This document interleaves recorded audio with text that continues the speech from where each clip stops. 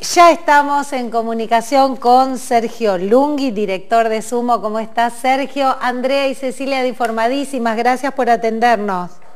¿Cómo les va, chicas? Buen día, ¿cómo andan? Muy, bien. gracias por esta comunicación con la radio y con el canal del ECO. Bueno, Sergio, queriendo hacer hoy, ¿no? Luego de este, el cuarto día, que ya es la reapertura de lo que ha sido el sistema Sumo, cómo ha funcionado precisamente y bueno, si hubo algún tipo de problemática, ya sea de la cuestión técnica o con usuarios. No, este, como vos bien decís, este, después de, de casi 70, después de 70 días, el lunes volvimos con el estacionamiento medido y después de un mes de que este, la reapertura de, los comercios este, eh, no esenciales y que realmente se veía que el centro este, se había desordenado y que realmente eh, no solo con el estacionamiento sino con las, con las infracciones de ley realmente el centro se había, se había convertido en un caos. Eh, en estos primeros tres días porque hoy estamos en, funcionamiento, eh, vemos que no es lo mismo que antes del 20 de marzo, sino que la cantidad de ingresos eh, de estacionamiento no son los mismos, pero eh, sí este, estamos muy contentos porque realmente este, hemos notado que, la gente ya no para del lado izquierdo, que la gente hay espacios para estacionar, que era, que era un poco lo que nosotros en esta primera etapa eh, queríamos hacer, ordenar, este, persuadir y que realmente incluso los comerciantes y los empleados de los comercios entiendan que, esto está hecho también para, para que lo usen este, los usuarios y los, los para llegar y, y poder hacer el trámite este, de forma rápida. Sergio, pasaron, a ver, hubo como, como en todos los casos, voces a favor, voces en contra, estaban los que estaban a favor porque dicen, bueno, ahora encuentro lugar para estacionar, está todo más ordenado, y eh, están los que dicen, bueno, en la situación económica en la que estamos, lo último que queremos pagar es un estacionamiento medido. ¿Qué, qué decís a esto? Sí, nosotros somos como Sandrini, o hacemos llorar o hacemos reír, esto es cierto, o alegría o, o bronca, pero eh, realmente lo que sí digo es que nosotros estamos viviendo una pandemia en la cual este, estamos cumpliendo una cuarentena y que eso no, inhabilita a cumplir las normas o las ordenanzas.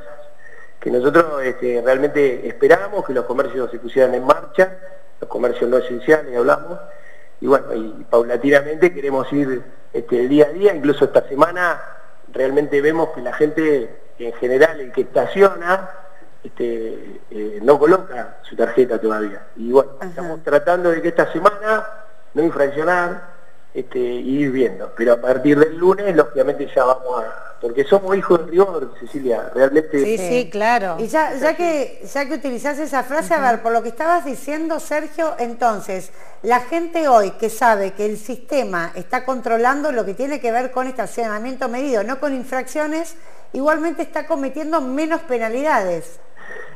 Sí, sí, sí, es, así, es así, sí. Están cometiendo, gracias a Dios, por ejemplo, no hay auto ya, que no es, no es este el área mía específica, pero nosotros trabajamos en conjunto con la, con la gente de control vehicular, y por ejemplo en las paradas de colectivos, ya en las rayas amarillas, en las ochavas, en las rampas discapacitadas, ya por lo menos no hay gente, y en lo que respecta al estacionamiento medido, eh, mucha gente ha colocado su tarjeta, se ha comportado como corresponde, y también hay mucha gente que para y no coloca la tarjeta, y hoy está en infracción.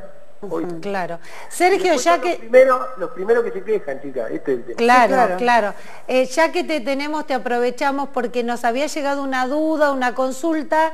Em, eh, lo que uno tiene en crédito, ¿se vence el saldo o no? ¿Y cómo ingresamos, en qué lugar, en qué página para ver, bueno, los movimientos, y por ahí nos olvidamos de, de cerrar ese día y siguió consumiendo? Eh, el saldo puede tener este, desde hace un año y el saldo persiste, o sea, no, no se vence nunca. No hubo problemas en el sistema para detectar esto, ni, algún tipo de queja, bien. No, no, para nada. La, página, como siempre, www.gpssumo.com y ahí hay, este, a la derecha hay una, una solapa en la cual se abren este, varias, varias cosas, entre esas cosas hay una que dice movimiento de tarjeta y ahí este, ingresando colocas tu tarjeta y te, salen todos los movimientos y el saldo actual que, tiene la tarjeta. Más allá de, los colectivos, este, los recorridos colectivos, el instructivo que lo cargamos hace aproximadamente un mes, hay un instructivo muy completo en el cual este, abarca todo el sumo y, ahí se pueden sacar todas las dudas. Mientras hablamos con vos, Sergio, estamos con la página que abrí en este momento para, bueno, para mostrar un poco cómo, cómo funciona. Y, este, y sí, están todas las líneas, los recorridos, y donde dice movimientos, ahí es donde uno tiene que consultar. Sí, correcto. Y si no, en cualquier partímetro, que son varios, son 90, eh, ingresando con, con la menú opción 1, consulta el saldo, te va a pedir que apoyes la tarjeta, apoyando la tarjeta, te dice el saldo que tenés. Bien. ¿Cómo están trabajando en la oficina en relación al personal? ¿Cuáles son también las cuestiones sanitarias, los protocolos a los que han tenido que adherir? Y bueno, en primera instancia los escritorios hemos tenido que poner este, vidrios para, para aislar este, a todo aquel. Ustedes saben que la oficina nuestra es, muy chica, así que en este momento somos cuatro personas trabajando y realmente tomamos todos los recaudos, más los protocolos este, normales y solamente hacemos ingresar de a una persona. Tenemos en la puerta un, cuadradito cercado con una soguita y lógicamente que si no tiene barbijo no lo dejamos ingresar. Claro. ¿Y, cuáles son las consultas más frecuentes, Sergio, en estos momentos? Eh, de todo un poco, ¿viste? La gente por ahí este, está reclamando por el tema de los horarios de los colectivos, ¿sí? Porque con este movimiento que hay, por ahí hay, algunos baches, y, pero más o menos se van, se van acomodando y se van manejando. este, temas de la frecuencia y por sobre todas las cosas estos días, este, todo lo que ustedes planteaban recién, los saldos, las tarjetas, agregar patentes, este, la gente por ahí un poco eh, nos recuerda y nos pide mucha mucha ayuda con eso. Y bueno, después hay mucha gente, nosotros tenemos un parquímetro en la oficina y la gente ingresa ahí, que también hay que decirlo, eh, la persona que iba a tomar un café y que ingresaba su tarjeta hoy no, lo está haciendo. Ha bajado mucho. Sí, hay muchos rubros, chicas, que no han, no han arrancado y eso también perjudica el estacionamiento. ¿Tienen un estimativo, Sergio, de lo que ha sido la caída de la recaudación? Sí, sí, sí. sí. ¿Y de cuánto ha sido? Hoy estamos en 66% menos, estamos en 33% de ingresos y un 33% en la recaudación. Sí, sí. Bien, sí, es una caída abrupta. Sí, es muy grande, sí, es muy grande. Y no creo que por ahí volvamos rápido a los niveles normales, la realidad va a costar, porque hay mucha gente que también seguramente con toda la situación este, optará por otro medio de transporte para venir a trabajar, no tengo ningún tipo de duda. Bien, vamos a recordar que estamos dialogando con el director del Sumo, Sergio Lungui, respecto a esto, ¿no? a la cuestión netamente del funcionamiento del sistema y teniendo en cuenta la caída abrupta de la recaudación. ¿Hay algo más que vaya a contemplar EICON, la empresa que presta el servicio? Vos días atrás nos dijiste que ya en estos meses en que no estuvo habilitado, bueno, así se van a reprogramar, digamos, lo que se paga mensualmente con, este, con un 50%, pero ¿se está contemplando esta caída de la recaudación?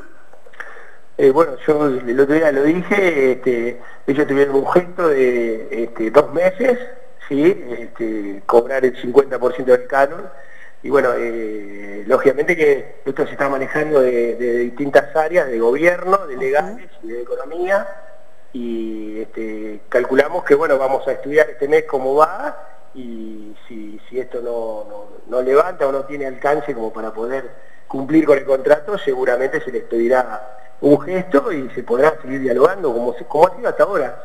Sergio, ¿por qué no, no recordás este, a dónde van los fondos que se recaudan precisamente del estacionamiento medido?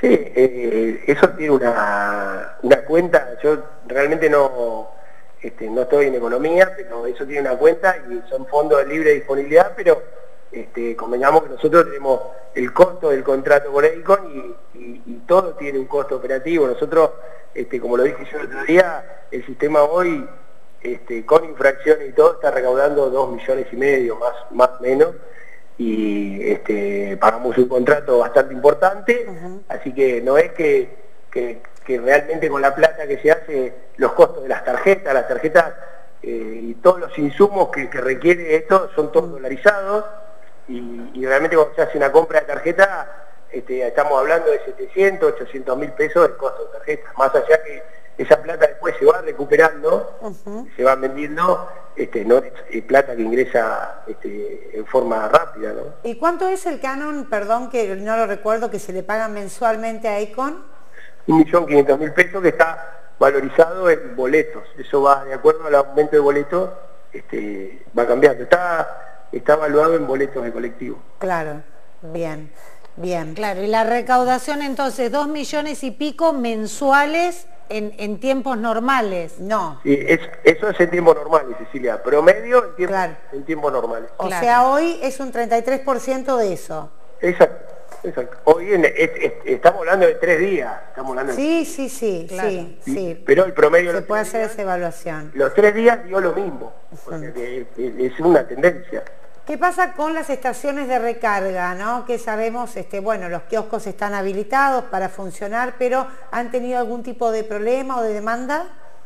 No, no, no, no, en general no, lo que pasa que también hay que decirlo que en estos 70 días el colectivo prácticamente, este, también ustedes han hablado con el presidente de la Cámara, y trabajó a un 5% y este, hoy está trabajando no, más del 10% y realmente eso el colectivo en Tandil eh, a los puestos de recarga eh, es la gran movida, es la gran movida. Y, también hay que decirlo, volviendo, nosotros lo que es la plata del colectivo solamente percibimos el 1% de eso. Nosotros administramos toda la plata del transporte público, y, pero simplemente por el 1% de comisión. O sea que el sistema no es que tampoco, eh, no digo que no dé, pero no es que tampoco es este, millonario. ¿no? Sergio, otra consulta y te aprovechamos eh, que nos llegaban de, televidentes y de oyentes.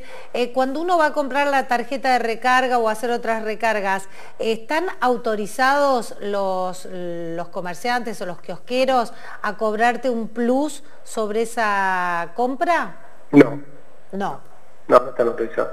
Este, siempre lo decimos y los que los que hemos tenido denuncias lo hemos tratado de corroborar. A veces la gente confunde porque carga 100 pesos de sumo y 100 pesos de celular y le cobran 3, 4, 5 pesos, pero no le cobran por el sumo, sino que le cobran por el celular. Más allá de eso, si hubiera algún inconveniente, eh, pedimos que lo denuncien. Nosotros tenemos la oficina para eso, para, tratar de... Este, igual hay que decirlo, los comerciantes cobran el 1,5 de comisión, es mucho más que el sube, y, por este por acá lo digo. Por ese servicio. Sí, por ese servicio y les agradecemos todo lo que hacen porque hay muchos comerciantes que están desde el principio, claro. el sumo arrancó y realmente el sumo en un, en un comienzo nadie lo quería, esto era una realidad. Claro. sí. Sergio, te queremos agradecer muchísimo por estos minutos con la radio y con el canal del ECO, ha sido muy amable. No, gracias chica. Y gracias a ustedes, este, importantísima la difusión de todo esto para que la gente también siga tomando este, conciencia y, que, hay que hay que cumplir con las normas. Sin dudas. Gracias, Sergio, por esta comunicación con la radio y la tele del ECO. Sergio Lungui, director del Sumo, bueno, charló aquí en Informadísimas.